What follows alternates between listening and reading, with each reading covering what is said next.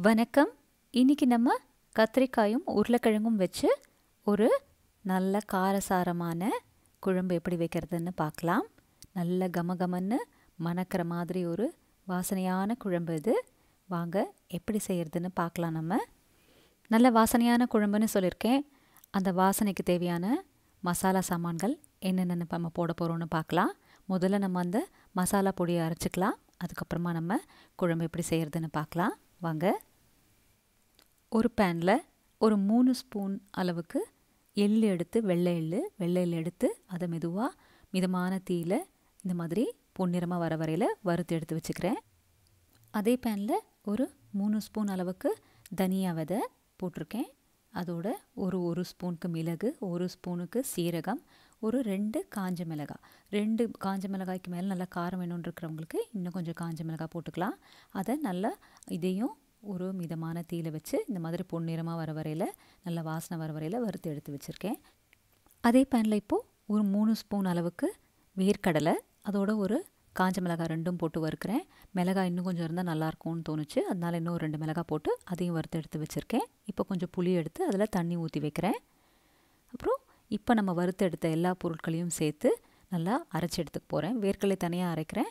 இந்த தனியா பொருட்கள் எல்லாத்தையும் தனியாக அரைக்கிறேன். இப்போ இந்த வேர்க்கடலை பொடி வேர்க்கடலை பொடி பண்ணி வச்சது. அதில் இப்போது இந்த தனியா பொடி பண்ணி வச்சதை போட்டு எல்லாத்தையும் இப்போ ஒன்றா கலக்கிறேன். இதுதான் நம்மளுடைய மசாலா பொடி.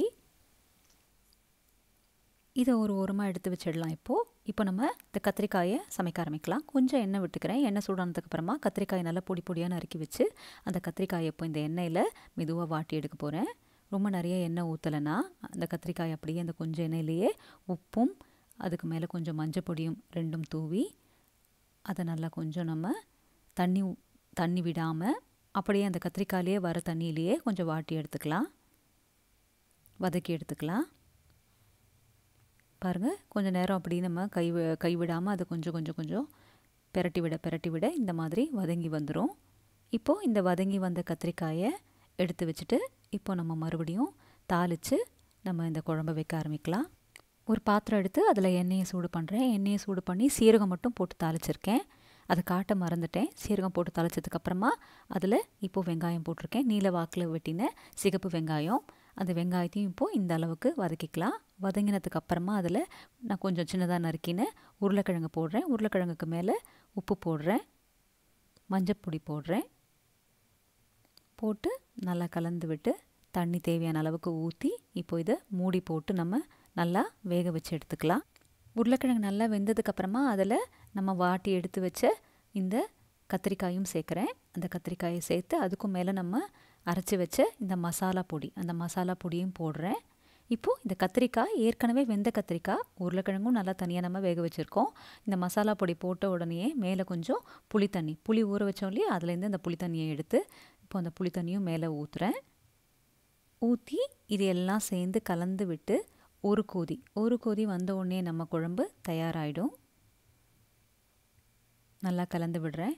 இப்போது ரொம்ப கெட்டியாக வேணும் அப்படின்னு இருக்கிறவங்களுக்கு இதே பதத்தில் கூட நம்ம எடுத்து வச்சு நம்ம அப்படியே கூட சாப்பிடலாம். இல்லை நமக்கு குழம்பு மாதிரி வேணும் அப்படின்னா நம்ம தண்ணி ஊற்றினோம் அப்படின்னா இந்த மசாலா பொடியெல்லாம் அதில் நல்லா கலந்து ஒரு குழம்பு போல் கிடைக்கும் நமக்கு.